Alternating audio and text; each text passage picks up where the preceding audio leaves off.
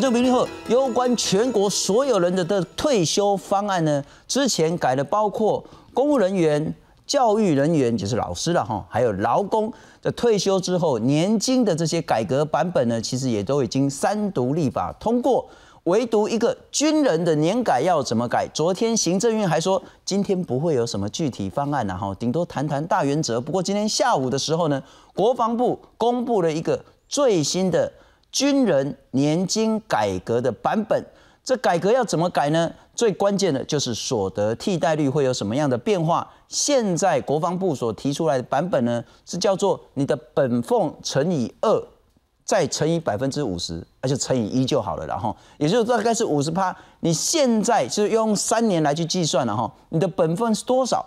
譬如说你的本俸是五万块，那五万块乘以二不就十万？十万再乘以五十趴，不就又变五万了吗？这是基本的。你如果是服役二十年的话呢，五万块就是五万块你的本俸。但是呢，如果是二十一年、二十二年，只要超过二十年的那个部分呢，这叫 X。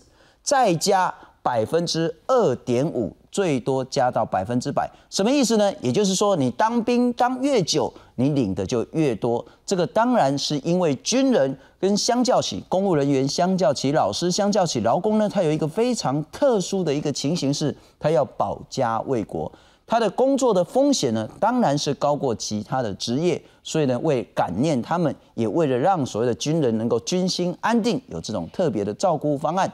可是同一个时间，这些以退伍军人组成的叫做八百壮士，到现在还在抗议。他们说：“嚯，我是在 K 个被戏的哈，我很生气，绝对无法接受，绝对要有更大规模的抗争。”军人的年改方案到底是什么？军人能不能接受？会不会动摇国本？下半场来谈这个题目啊，上半场要谈什么呢？再来谈猎雷舰的这个弊案，庆父真的是所谓的能够是通天吗？今天《中国时报》用头版头的这个方式呢，报道说庆富的副董事长他有一份录音记录，这也是国民党的立法委员所拿出来的，说庆富的副董事长呢，在录音里面讲得很清楚，我进了总统府之后，两天以后二十四亿就拨下来了。国民党立法委员质疑说啊，是不是总统府在帮忙瞧这个庆富的钱，帮忙瞧了二十四亿？总统府今天用非常严厉的这样子的一个方式呢，痛批《中国时报》随便报道，也痛批这份录音呢是子虚乌有，是捏造事实。结果是什么？是真的这个庆富案从蓝营烧到了绿营吗？可是另外一个高雄市的海洋局局长，他也承认了，在去年的时候呢，到庆富大楼呢去帮忙谈一些事情，谈这个新达港这个用地的取得的事情。台工啊，奇怪，你庆父呢，怎么可以就会这样子弄呢？不但瞧钱，还瞧地。不过高雄市海洋局长说啊，五年一修给博了哈，可是纯粹就只是为了招商起见。整个庆父案的最新发展，上半场来谈这个题目，介绍两位特别来宾。首先欢迎是新新闻的副社长陈东豪，新总大家好。再来欢迎是资深的军事记者吴明杰。啊，主持人大家好。先来看看今天政治上很重要的一个信息，就是说庆父案是不是烧到的绿营高层？庆富公司猎雷舰案继续烧，国民党立院党团举行记者会，播放录音档，内容疑似是庆富公司的董事长陈进来他的儿子，也就是庆富副董事长陈伟志，他和高雄市海洋局长王端仁等人的谈话，内容提到陈伟志到总统府沟通后，军方把原本今年才要给的猎雷舰专案第三期履约款二十四亿，提早在去年拨给庆富公司。我的总统沟通，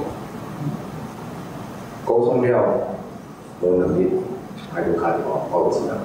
国民党立院党团以此质疑，是否有政府高层施压军方，从其他预算挪出二十四亿给庆富公司？陈伟志到总统府去瞧了以后，国防部在很短的时间之内，在去年违反预算法的情况之下，去筹了二十四亿，去提前拨给庆富，这个是很严重的违法。总统府交代清楚。陈庆南、陈伟志父子到底何时去总统府？交代了谁？国防部何时收到谁的电话？有压力，在去年就放款。总统府对此回应表示，列雷建案由国防部依照契约内容依法办理，总统府没有也不会介入。那庆富公司历来有关列雷建案陈情的部分，总统府悉数依法办理。而且日前更主动的解密相关的文件，那公立法院相关调阅小组来查询。所以，所谓涉案者与府方沟通施压军方，这些都是属于捏造的。总统府没有，也不会介入。民进党立院党团也回应表示，他们认为国民党立院党团提出的录音内容是庆父招摇撞骗的生意人手法，不用随之起舞。但民进党团也表示，二十四亿元的拨款过程是否有不法之处，他们也要求政府彻查到底。记者综合报道。到底是庆父直达天听，还是真的叫做子虚乌有、完全捏造？我们来看看这整件事情为什么会从上个礼拜我们在谈说烧到蓝营，特别是前国民党的行政院的秘书长简太郎，以及到陈陈情马英九总统这件事。那这礼拜呢，有戏剧性的变化了。我们来看看一些媒体报道呢。包括说，第一个跟高雄市有什么样的关系？我们知道庆父是高雄起家的嘛，哈，爱讲要起列雷舰呐，讲啊，你也无所在人去啊，讲无要紧，我咧家庭迄个新达港要来做一个造船厂啊，哈，可是用地没办法取得。在二零一六年十月的时候，去年十月，在高雄市海洋局局长王瑞仁，然后呢说台船中信哦，你要先去收了，要先去搓了哈。啊，中信科普问题，可是问题会出在台船，台船的部分要请总裁去跟政府讲，这个动作最好是招标文件上网之后再做，这是这样子的一个媒体报道。可是高雄市海洋局说呢，因为要协助国建国造嘛，还有要招商引资活化新达港，所以才会去跟庆富来谈土地取得的方式，过程当中吼有一些不成熟的建议啊。可是最后还是在合法前提下采取公开标租的这个方式来进行，绝对没有私相授受。啊，你的鸡婆做这个代志，你的局长讲，我讲我叫鸡婆诶，他说我很鸡婆，就是太鸡婆去做这件事情。但是这件事会怎么烧，我们再来看看了哈。二零一四年十月，高雄市政府跟庆富定了一个 M O U，要帮助庆富取得造船土地，这个是媒体这样报道。可是呢，高雄市海洋局说。这是市府回复请求协助函，不是 M O U，也不是释出土地的同意书。任何厂商如果要投资高雄，高雄都很高兴，都会这样子的回复。再来就是刚刚我们谈的，是不是又烧到了总统府呢？马文君这些国民党的立法委员提出来一份录音档案，说呢，这个庆富的副董事长在里面录音讲说呢。总统府呢，就是他进去总统府之后，两天之后，二十四亿本来拿不到的，国防部就拨款了。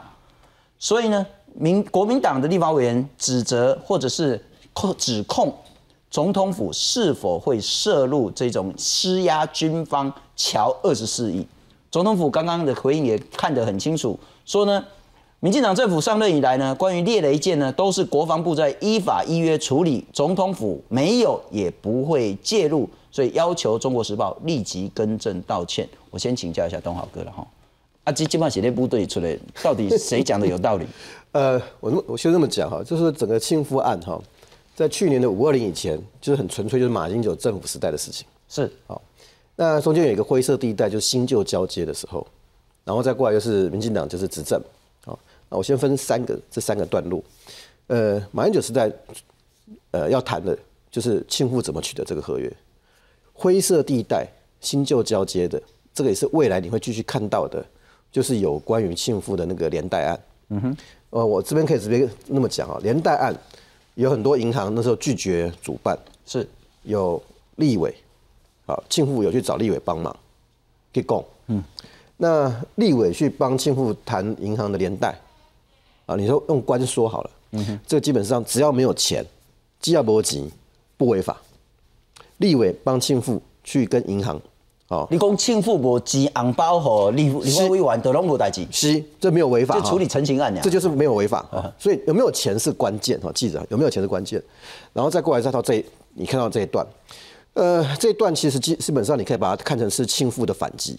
为什么？因为庆富现在被呃司法调查，OK，那我们再看啊，庆富呃这一波可能会撑不过去，就会破产。破产是如果庆富真的破产的话，那么就是呃对国防部来讲，或者对总府来讲，或者对现在的行政院来讲，哈，呃就是解约的最好理由。了解。好，好，那你为为什么说是这一波你大概会看到一连串庆富的反击？因为事实上在呃王端仁这个海洋局局长这个事情之前，他打的是这个呃刘世芳啊，民进党的是的立法委员刘世芳跟邱志伟，呃邱志伟就跟台银连带那个时候庆富有拜托他去讲，好，那呃刘世芳是因为正在呃准备民进党高雄市市长的党内初选，是。所以这个时候提到刘世芳跟邱志伟其实都很敏感。是，好，那这两个谈完之后呢，第三个谈的就是王端仁。王端仁跟这个高雄市长陈菊花吗？跟很久，以前在他呃陈菊在当劳委会主委时代，他就在劳工保险局了。OK，所以你可以讲王端仁是个这样的子弟兵。了解。好，所以打的是王端仁啊，打王端仁什么？就是用录音带。为什么？历来台湾桥头得嘛哈啊，等一下我再解释，所以这个到底算不算桥头得了哈？但是这还没有要要被刷。这个录音带里面最有杀伤力的是什么？是所谓的二十四亿啊。九月本来二十四亿不播的，九月二十七号进到总统府沟通完以后，过两天就有钱了。嗯哼。那这个就表示说，总统府总统府是谁的？蔡英文的、啊。那表示蔡英文有在帮忙吗？嗯哼。一定是这个艺术嘛。那我跟我讲哈，就大家要记得说，这个事情在去年的五二零以前，基本上都算马英九的。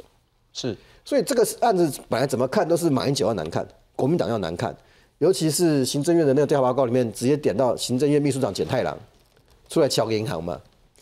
因为整个庆富案，第一个你要拿到标，拿到标之后你要拿到钱，啊，这个第一跟第二都算是蓝军的，嗯哼。但是这个过程当中，事实上哈，那立委的部分蓝绿都有被拜托的，我们讲蓝绿都有，因为什么？因为有些银行不愿意做这个案子。啊，不愿意做这个案子的理由很多，有的是认为庆富的资本额跟他要做这个生意的财务杠杆比例太高，是，所以你就会，如果我们再回忆一下哈，你就会知道说，在那个过程里面的那个新旧交接哈，就是民进党还没接、还没接、还没执政，国民党还没交棒之前那段时间，兆丰先拒绝了，台湾银行拒绝了，何库拒绝了，最后才有第一银行。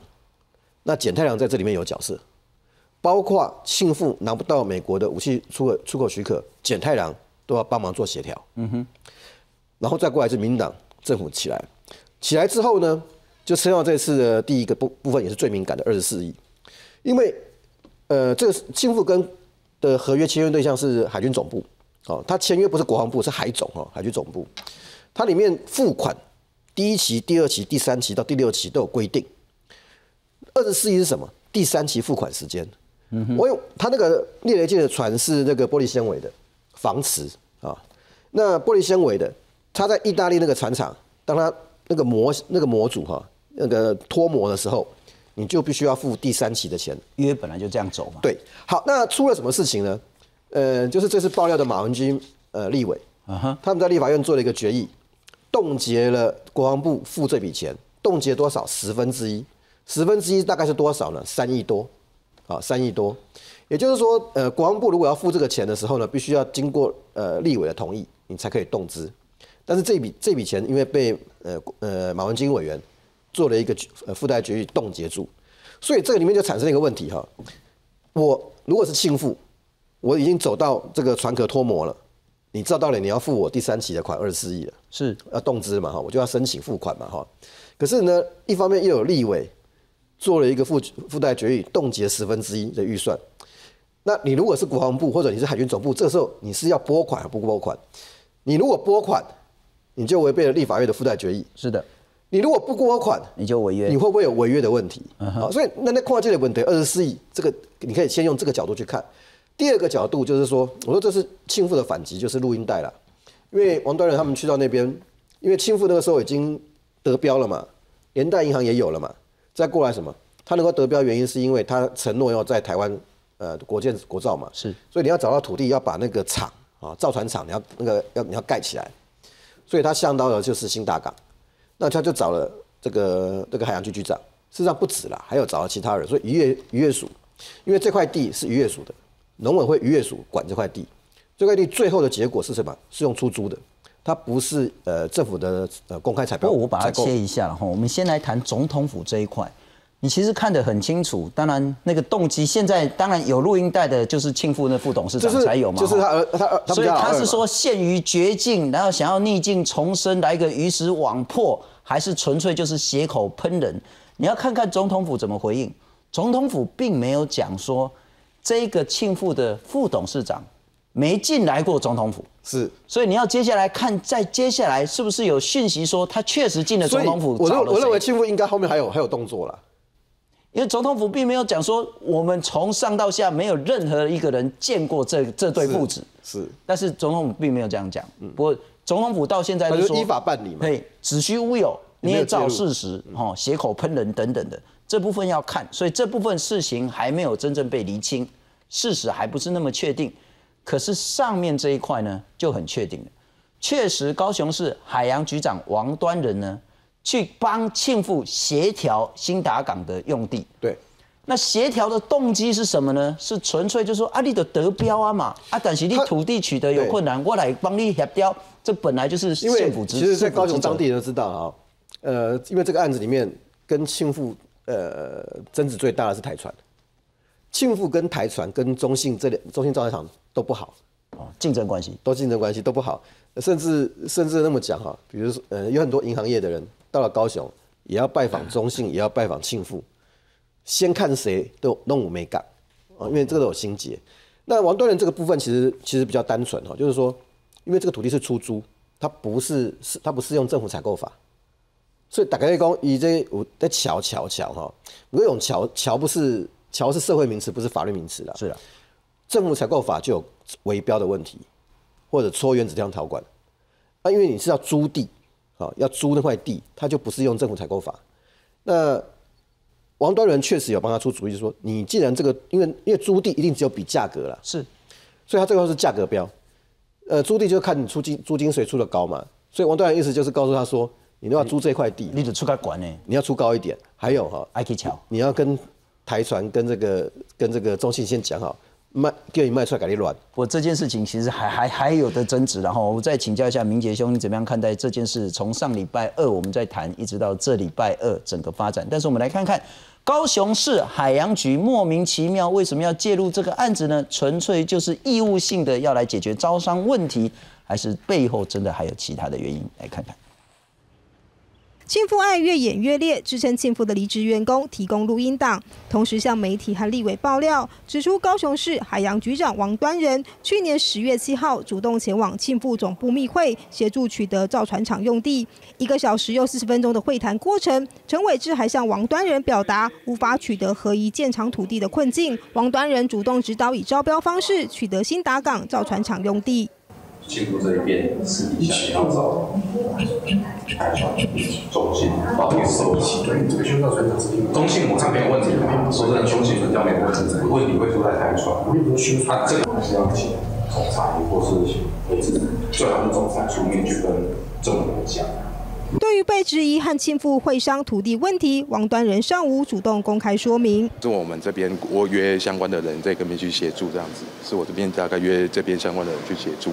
我的想法，我的初衷本意，我其实就是跟我刚刚讲的这两点，就是整个配合国建国造以及促进能够让新达渔港能够活化。我觉得这个是最重要的，我我的两个出发点。王端仁坦诚提出不成熟建议，但一再强调是为了协助国建国造以及招商活化新达港。当天还有其他人在场，并非密会，也否认市府更高层级涉入。接受司法调查，所以你会透明公开。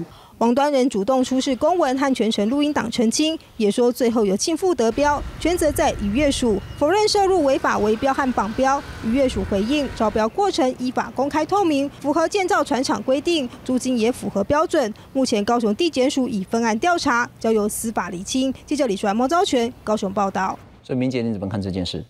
呃，我们看整个过程哈，怎么现在听起来好像只要拿出国建国造就是一个通关的金牌啊？哦，好像所有的政府官员都全力哈在支持所谓国建国造，啊，全力支持庆父来完成烈烈舰这个案子。但事情如果这么单纯的话哈，后头也不会有这么多的疑点出来啊。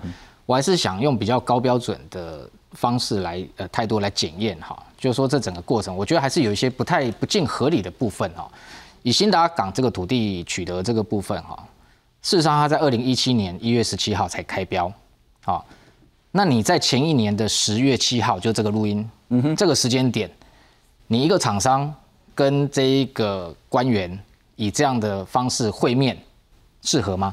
我先问这个问题。嗯哼，你在开标之前，好用这样的方式会面，然后谈的这样内容又涉及说，是不是要先戳，才用戳中信啊、台船这样的说法？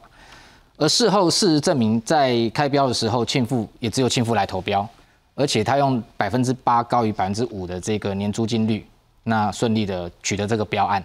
哦，那我们在开标前，官员跟厂商适不适合先见面？嗯哼，就像是。你今天庆富拿到猎雷舰的案子的是，当初开标的时候，开标之前，你海军的官员去跟庆富见面适不适合？嗯哼，这个问题我先第一个问，第二个就是说，我再回头去看，就是说，我们要问是为什么二零一六年的十月哈还在瞧所谓的新达港的这个土地的问题？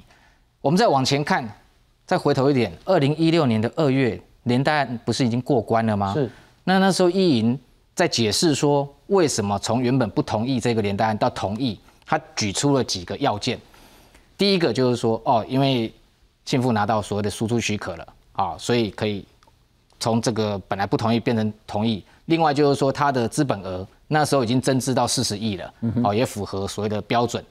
第三个要件就是庆富同意新达港的这一个厂房拿来做抵押，是。这个是这个不是二零一六年二月就已经同意的事情吗？是。那理论上来讲，庆富那时候应该已经新达港就有地有厂房了，已经拿到了嘛？不然这个抵押是空的嘛？OK，可以拿来开一个空头支票拿来做抵押吗？这个我觉得呃不合逻辑啦哈，也这个就是说在事后到十月还谈这个问题的时候，我就觉得。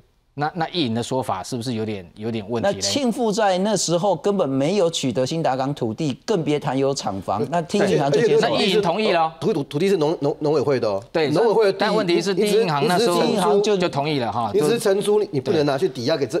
对啊，你拿租的来土地所以这个这个又他还没租到，对，往前又掀开了另外一个疑点了哈。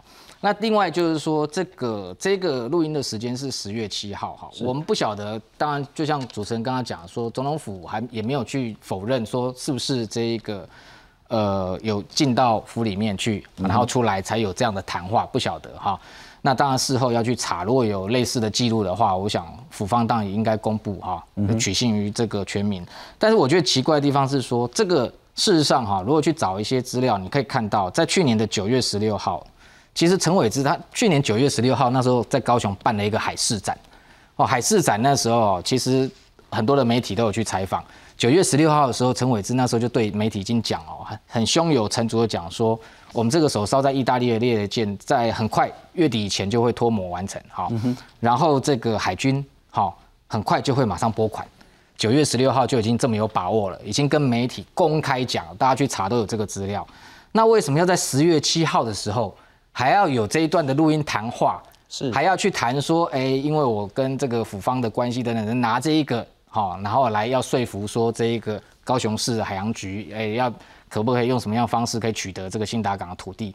这个我们也觉得很奇怪。嗯哼，他都已经这么胸有成竹了，还去提这一段，这个背后的目的跟动机是什么？是我们觉得真的是有点匪夷所思了哈。是，也许后续就像刚刚呃讲的。还有新的其他的市政或者爆料的内容出来，可能会打击到谁，我们不晓得。嗯哼，只是说这个过程，如果庆富当时依约依合约，海军依合约就会付你钱了嘛。而且事后证明，就是说十一月二十八号他去请款，海军在十二月六号就已经拨款了嘛。啊，就依依海军他跟海军的合约就是要拨款，这个事情是本来就理所当然的事情，为什么要去拿这一段好出来出来去谈这个？好像当一个筹码哈，甚至像府方说，哎，拿这个来招摇撞骗哈。我我是觉得，如果要这样子看哈，你会发现说，庆富过去从刚开始拿到所跟去跟外商谈输出许可，跟到海军拿到这个标案，到后来连带，怎么好像都有类似的一个惯用的手法啊？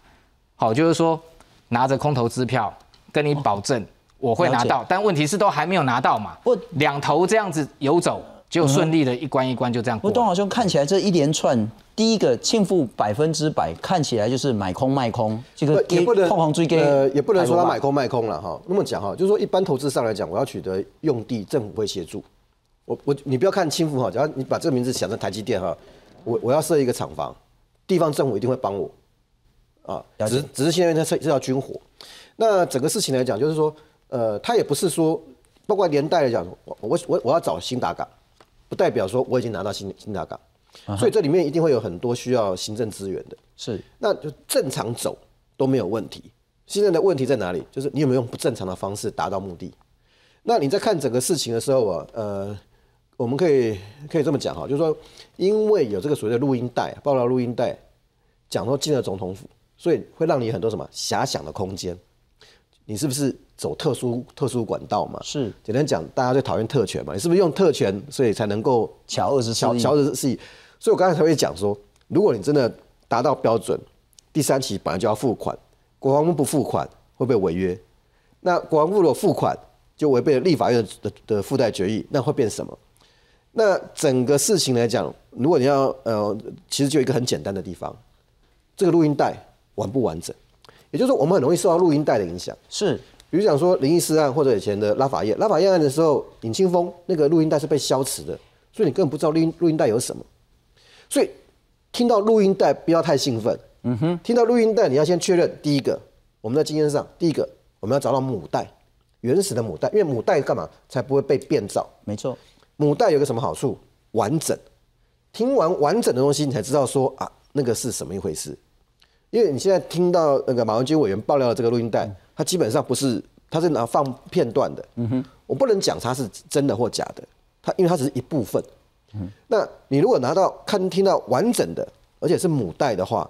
你就很好判断一些事情。不过这件事情呢，其实跟拉法叶会有很不一样。拉法叶的当事人也已经早就已经离开人世了，然后相关的文件也都被销毁了。但是这一件事情，所有相关人都还在，而且被收押了。然后接下来，所有包括总统府的这一些所谓的密件呢，也即将就要解密了。所以接下来要看这把火会怎么烧。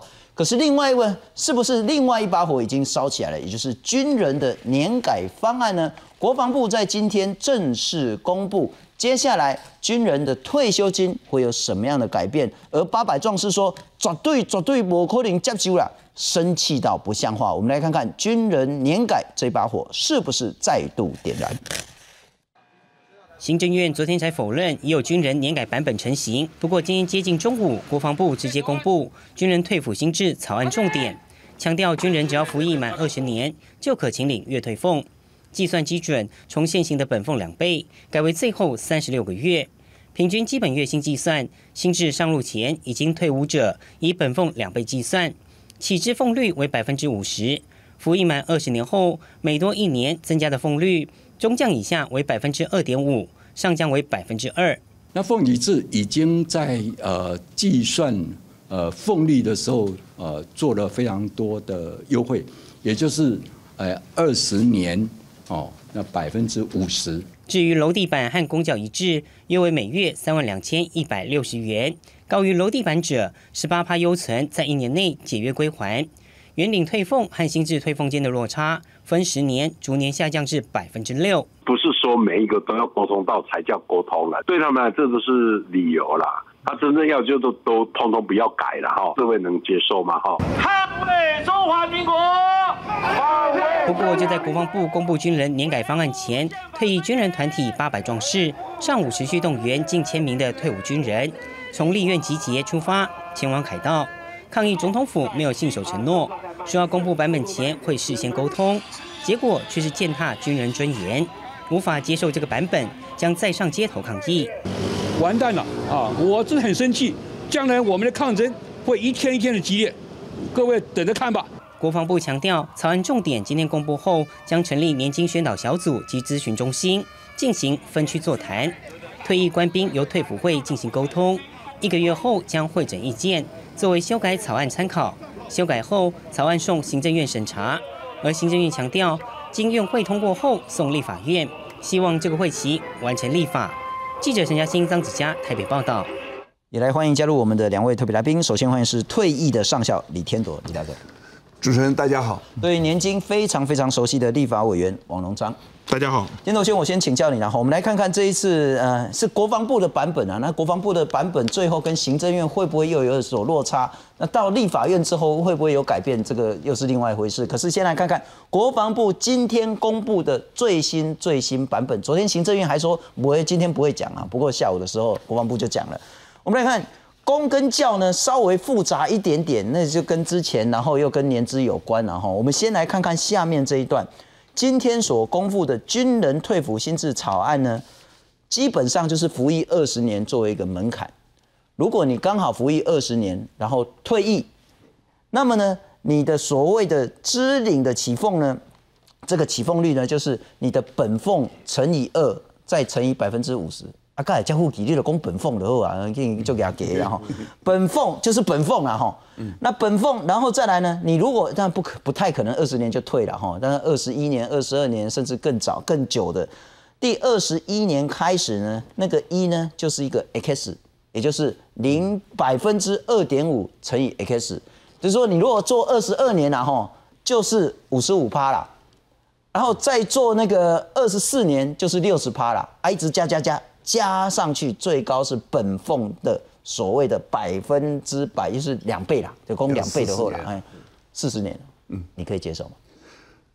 根本就不可能的事情嘛。按照工，我跟你讲，现在在在意的多半的我我接触到的问过他们，十年能退十年退，二十年到二十年退，绝对没有人在留恋这个位置去当军人。为啥？啊？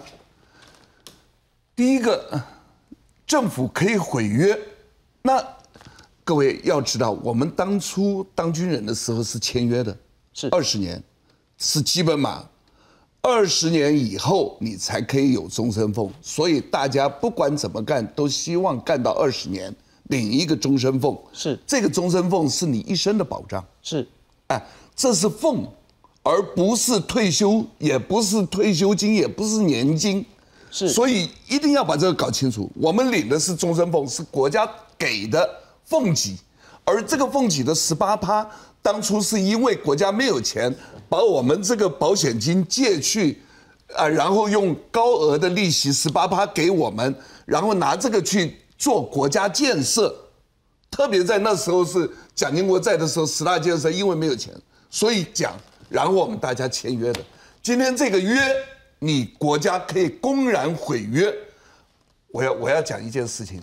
当一个国家的军人，不是说为你民进党当或者国民党当，我们当的是国家的军人。嗯哼，不不会说因为你今天民进党上台弄一套改了，那下一个下一个党再上来又改了，是不是这样子？那你没有这个这个信基本的信赖在的时候，军人当什么军人？所有行业里面只有军人会死的。嗯哼，他叫你去死的时候，你不能不死啊！我告诉各位。他口口声声，民进党讲说拿国拿美国的制度来讲好了，美国的美国的退伍军人制度从一九八零年开始经过六次的修改，这六次修改里面最重要的一个是绝对不溯及既往的。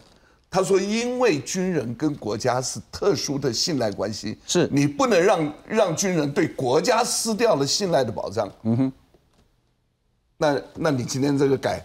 我看了一下他退伍改，小英总统一再讲军人跟这个公教人员是不同，这个行业不同是。可是你今天在退伍讲回的草案重点里面，五个里面有有两个都是第一个，退伍退伍军人年金最低的保障和公教一致。哎，退伍的三退伍薪资的三个重点，调高提拨率和公教一致。那大家一起，那所以。我们今天，所以在政府眼中，军公教其实都是一样的。对，因为你反正只有了二点八趴的人嘛，所以我们今天今天上街头，昨天跟今天我都到了到了这个这个抗议的现场，是被被公教笑了，哎，你卖的，哎，你们不要不要以为军人在他们的眼睛里面有什么不同，跟公教一样的啦。不过龙藏兄，我先请教你，然后我们来看看刚刚谈到就是说，其实改一改，因为。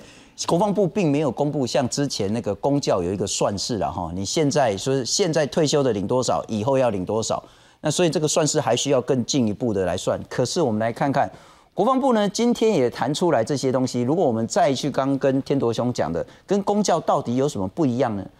公教的算法呢，未来啦哈是要用十五年的平均本俸来计算，计算十五年。可是军人呢是用三年，就是三十六个月哦，这个有一点不太一样一点呐哈。再来是最后，起支的部分呢是要六十五岁才能退，未来了哈，当然是逐年延到六十五了哈。可是国防部呢，这个军人呢是服役二十年，但是希望你多做，所以你可以多领，这也有一点点不太一样。最低保障呢，现在没有讲得很清楚。公教呢有一个叫做楼地板的哈，就是三万两千块。军有没有呢？也可以有，也可以没有。那这个部分就是没有说的非常非常清楚。再来呢，十八趴都要退了，不管是这样，除非你领的呢是低于这个楼地板的。你才可以继续领这个有所谓的优存的部分，但是原则上十八趴，不管是军公教呢，就要逐年的退场。再来呢，所谓的提拨呢，也是要从十二趴提高到十八趴。所以看起来在年改方案了哈，但是就是所谓的人民心中的那个尊敬程度可能不一样了哈。但是年改方案看起来跟公教是很像的。我想这里面有很大的差异哈。我先呃。呃，因为我们呃天铎兄刚刚的说明，呃，事实上我想呃军人的这个部分应该跟公教劳等等，就是说脱钩特别考量。这个在第六次年改会议里面，我第一个发言，然后我提出来，军人的这个部分要另外做思考跟考量。好，那这一个议题，在我我想大家都知道，在年改会呃开了二十次会议，那然后非常多的议题。没有一呃，大多数都没有共识。好，这个是有共识的。好，在场所有的委员都认为应该脱钩是有共识。对，脱钩，然后额外考量，这个是有共识。现在又挂钩了。那这一个部分的话，我想我们可以来看呢，就是说二十年，然后呃服服服役满二十年，然后可以退休。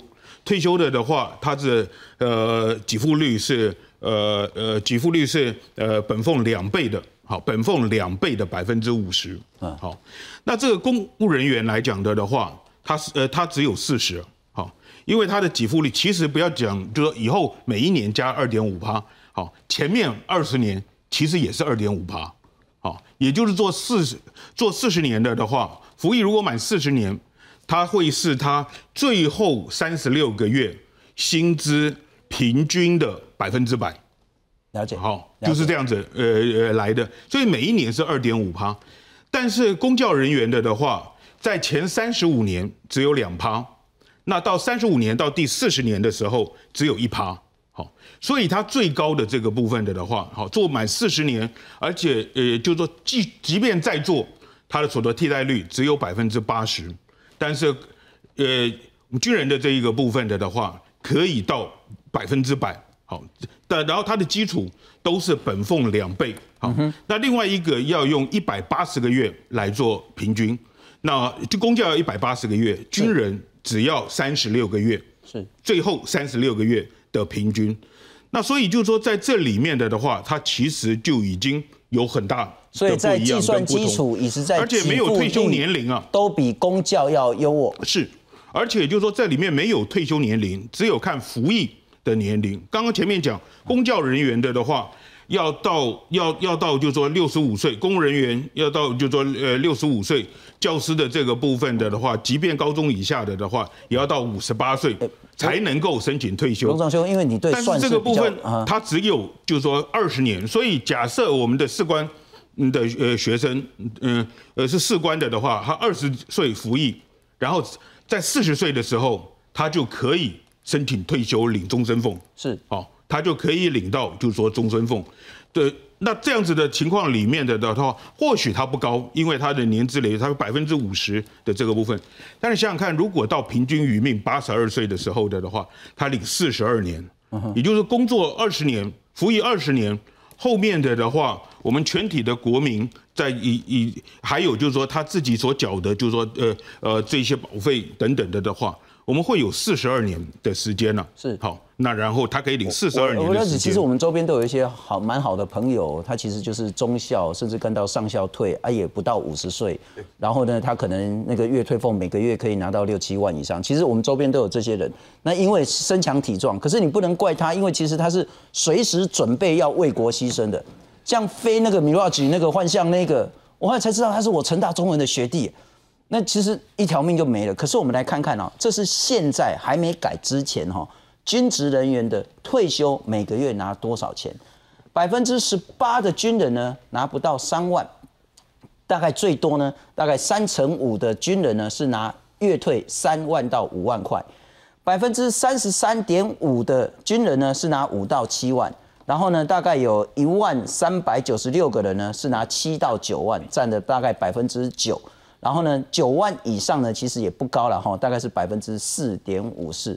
我再请教一下荣昌兄，因为之前我们在谈公教的时候呢，其实大家会要很清楚，我现在本来可以每个月月退拿六万的，被你这么一改，我到底少了多少？现在看起来应该要少，剩下大概快五万左右了哈。可是如果是军人，譬如说他一样，本来每个月拿六万的，在国防部的这个方案。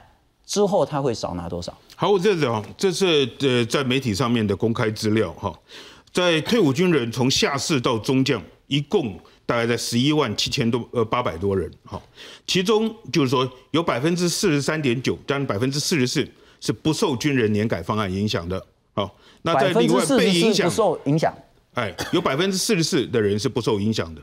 好，那在这里面影响被影响。一万块钱以下的大概在百分之十三点七，好，一万到两万的百分之三十七点三左右，那两万到三万大概只有呃四点七多，三到四万的的话只有零点三三的人，那个大概都是高阶的将领，就是说才会有这样子的一个情况。那主要在这里面就是说受到影响幅度比较大的，好是将官。OK 的这一个部分受到的影响比较大，其他的这个部分以现行的现目前规划的制度，事实上已经经过初步的，就是说试算，它影响的就是说不不受影响的人，就就高达呃就已经有百分之四十四了。我们可以很笼统讲，降级以上少将、中将、上将，这可能一个月会少个一万块以上。最高的的话，哈，在最高中将以上的的话，少个影响三到四万的话，有两百七十一个人。不过将本来就领很多，那少将的这一个部分的的话，也是可能就影响比较小。对，就是说越往下面，当然影响的金额，他领的少，他的减少的金额也就不会这么大嘛。乡人为国，我懂。不是乡人为国，我我要那个主持人我要讲，我们当军人从来以前没有去想过要跟国家去算账算钱的。是钱算什么，命都不怕啊！钱算什么，对不对？可是这一次啊，我我特别去看了一下，刚刚刚刚我不知道荣荣章委员他的那个数字的依据，现在还有十二万一千九百四十九个退伍军人，终身俸平均一个月是四万九千三百七十九元，如果扣掉年改会的版本删掉了十八趴，那平均每个月会少掉一万四千一百四十二块。剩下三万五千两百三十七块，这里面大概至少有四分之三左右中少校的阶层，大概落到了楼地板，三万两千一百多。你差这一万多多块钱，你不要讲说差一万多块钱，那之前马英九把那个年终奖金扣掉的时候，像我就受到影响，我二十一年。我二十一年的时候，那时候有这个年终奖金的时候，平均一个月四万块钱，我的我的薪水，那十八趴我是没有拿去存，我当时拿出来自己用掉，那活该。可是我要告诉各位，就不像他讲的说，你今天心智完了可以干四十岁，干越久越好，那根本就是一个谎言。我我最明显的例子，我我是我在军中三次终身留营。可是到后来的时候，我在国安局啊，哎，尹总文讲你们这些军人不听话的，我军法办理。好，我打个报告，二十一年我就退了。了解。哎，你你说有有什么保障？说说讲你干到干到六十五岁，除了那些上将以外，上将是少之又少。米姐，你对军方比较熟，这个方案会动摇军心、动摇国本吗？呃，天罗兄的感觉我是能够了解了哈，因为毕竟每个人都一样，每个行业都是这样，只要你一旦收入受到影响，当然内心当然都会有不房贷啊、车贷啊，是家庭都出。只是说，我们也希望天罗兄再冷静一下，再来回头再来严格哈仔细的去看今天这个所谓的法这个草案啊，哈，它只是一个草案啊，哈，那要看用什么样的标准去衡量。如果你要从拿跟现在所领的去比，那当然有部分的人刚才也谈到，就是呃，只有大概四成三是没有受影响的了哈。那其实将近有百分之五十六左右，当然多少收入都会受到影响。那这些所谓的新旧制的这个退伍的军事官，当然心理上都会有不同的意见了哈，这我们都能理解。但是同样的，就是说，除了军人以外，如果你要去像刚刚也比较过跟公教比，如果你要去跟公教比，我说句实在的话，呃，某个程度公教可能会很有意见啊。我举例来讲，就是说刚刚谈到所谓中将跟少将的部分，事实上影响最多当然是降级的部分，因为他过去领的多，那减少的比较多。那中间最关键在哪里？就是十八趴。那国防部其实是用很技巧的方式哈，他并没有明言说我十八趴。哦，要分几年归零？他用很对，第一年取消这个是我是觉得讲给公教听的啦。哈，后头你看他一句话，元月退俸若高于新制的话，好，他用很技巧的包装啦，分十年呢，十年，公教听的会不会气死？好，这个比较之下，哈，某个程度，你如果要军公教是放在一起衡量的话，公教当然他也会有有意见。另外还有俸率的提升，刚刚也讲到，公教已经三读通过了。对，好，同样的就是说。所以你看，他前面又讲说，哦，第一年取消，这是做给公交看的了。好，他后面其实补了一大段回来，分十年哈。另外，他的俸率哈，现行是四十趴嘛，他从五十趴开始起跳。我必须分两个部分讲。就我的了解了哈，第一个，国防部长冯世宽跟退伍会主委李祥宙，过去一年我们只要有采访机会碰到，私底下一定问年金改革。我说句实在话啦，他们也是站在军人的角度，替军人讲话，讲到后。一直这个十几个方案上去都被年改会打回来，一直的打回票。那后来争取到这样子哈，我想他们某个程度我相信是尽力了哈，因为他们还是站在都是军人的同袍，我想不管哪个政府，他们心情是一样的。但目前来讲，我觉得影响最少是什么？就是说你现在现役的部分，现役的部分，事实上像今天也有举。一个案例最简单的，我们来算一下。他说，如果今今天你少校退伍是二十年哈，本来现值你是领七万六千多块了啊，那未来等于说旧的用旧的这个所谓新制去计算的话是三万一千五百四，但是你用新的这个叫新新制去算三万九千四百二十五，事实上比过去多领了八千块啊。那最近军方有没有退伍潮？据我了解是没有啊，因为他们某个程度都了解说这个案子对于现役的来讲。哦，包括俸率各方面等等之类，对他们是有利的。退役的一定很不爽，但对现役的这些退役的，我觉得军官是可以接受。退役的有影响的，当然就是新旧制，用新旧制，那关键又是在十八趴。哦，所以这个部分，我当然觉得，我觉得政府要拿出诚意啊。譬如说像天罗兄他们，我觉得。年改会也好，或者是说高层要出面来去，包括退伍会也好，尽可能的去沟通，然后至少你要心理上让他感觉好一点嘛。被砍钱的人不会有人说我很爽的啦，这是不可能的事情。但是这个就是说，以这样整个你要去横平这个公教，还有所有其他行业，还有一个部分就是说，我们也注意到哈，今天的方案里面也提到说，未来要分十年，每年挹注一百亿到退抚基金里面，我们要回头去问，最重要为什么要年金改革？事实上，过去当然从旧制到新旧制到新制，都有因为这个退伍基金的问题、财务的问题，所以它事实上也改革过。那这一次，事实上你后头这一千亿谁付？全民付？哎，好，政府已经我我相信啦，某个程度已经有心要去让这个退伍基金，特别他们今天讲说，如果你溢出一千亿以后，加上现在的原本九百三十亿，三十年啦，希望能够三十年不要在这个面临破产的问题。这个部分，我觉得某个程度。都不失为已经算是一个衡量后的一个好的方案。董老兄，我我补充一句，不止这十年一一千亿啊，还有包括我们的调降嗯的呃调降的所得的这个部分，还有优惠存款节省的经费，也全部挹注到这个基金。所以就是说，这个措施的的话，这样子做法可以让这个基金保持三十年，然后不会倒。的情况，我董老师，我请教你了哈，就是说，不管我们来看，今天国防部公布了它的标呢，都是这个叫做国军从优照顾，他要强调我是从优照顾，政府从优照顾军人的这个新军人是不是感受到了？谢意。OK，我们来看看，不管是刚谈的很多起支俸率，是从所谓的本俸乘以二乘以百分之五十开始起跳，这个起支俸率来看。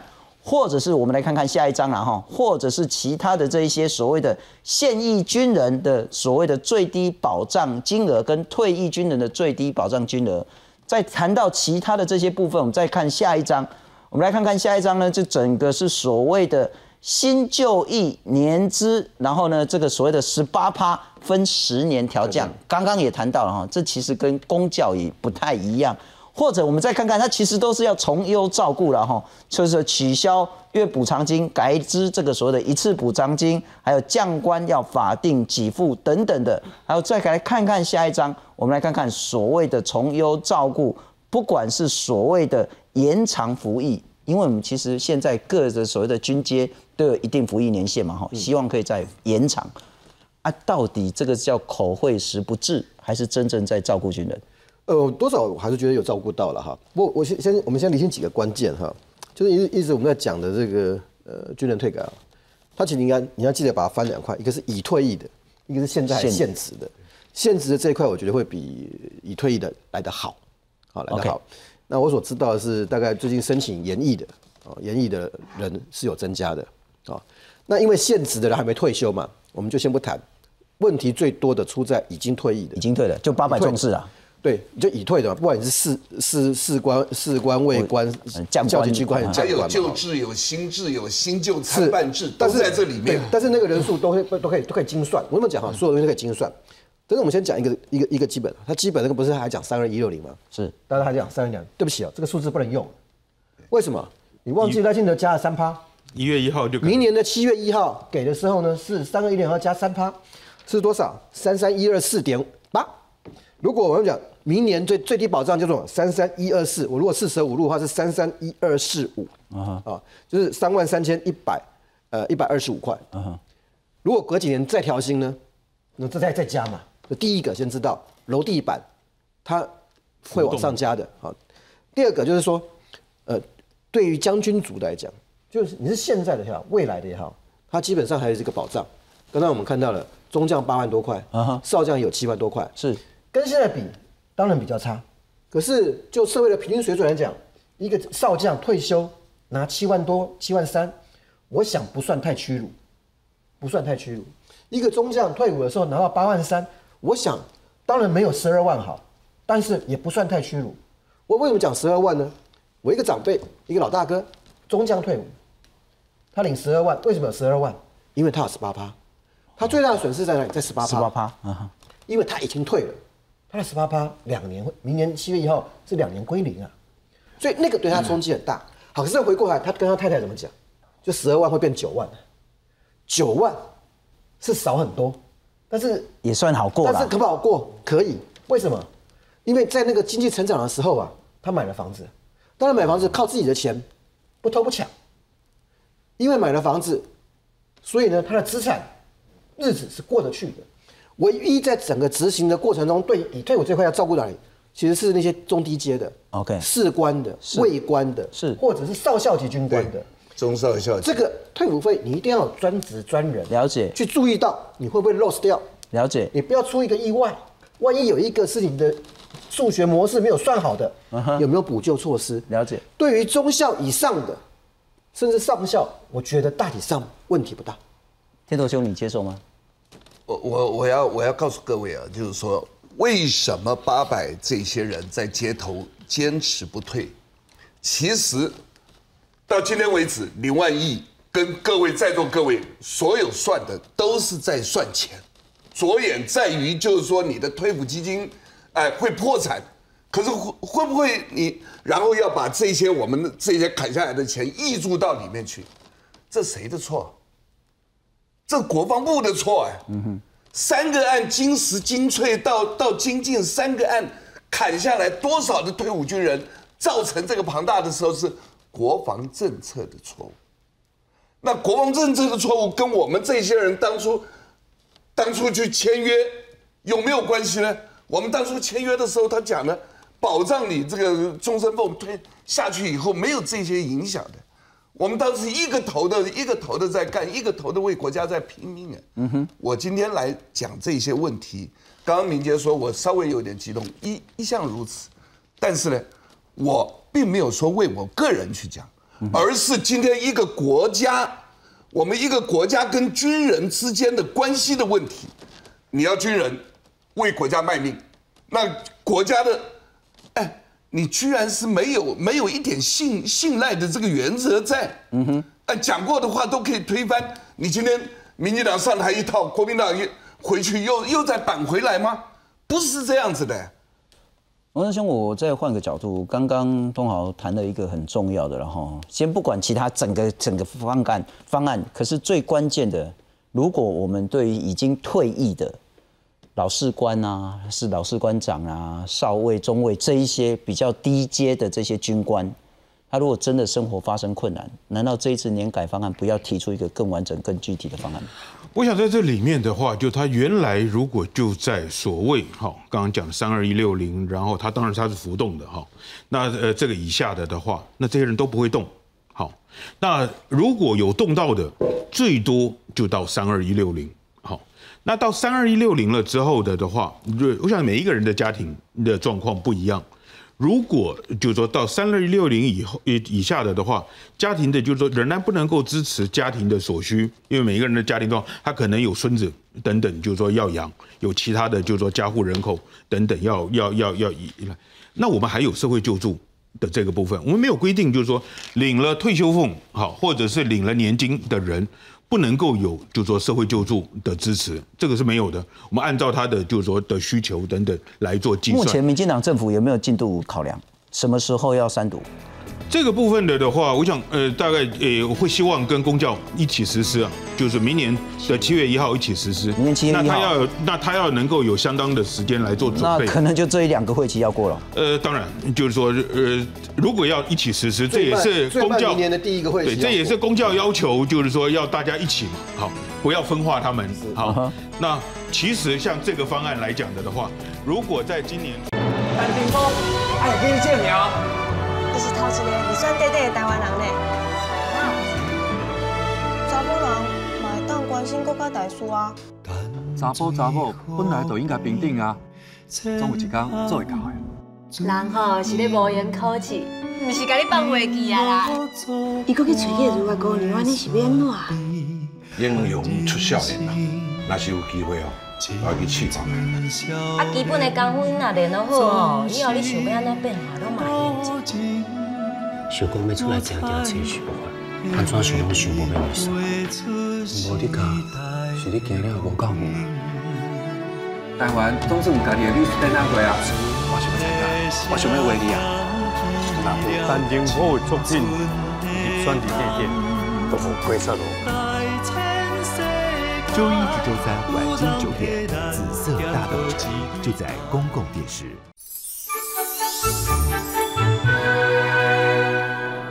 Hello，大家好，我是蔡凡熙。那谢谢各位观众们喜欢《通灵少女》，很幸运的在今年入围了金钟奖的新晋演员。谢谢各位评审，也谢谢各位观众喜欢《通灵少女》里面的何允乐。是要过去。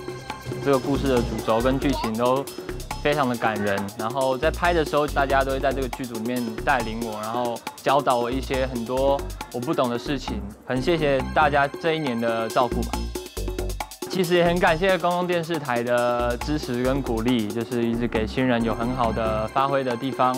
然后这么棒的电视台需要大家的支持与鼓励，所以大家请拨打捐款专线零二二六三三九九二二零二二六三三九九二二，邮政划拨账号一九二一三三三五。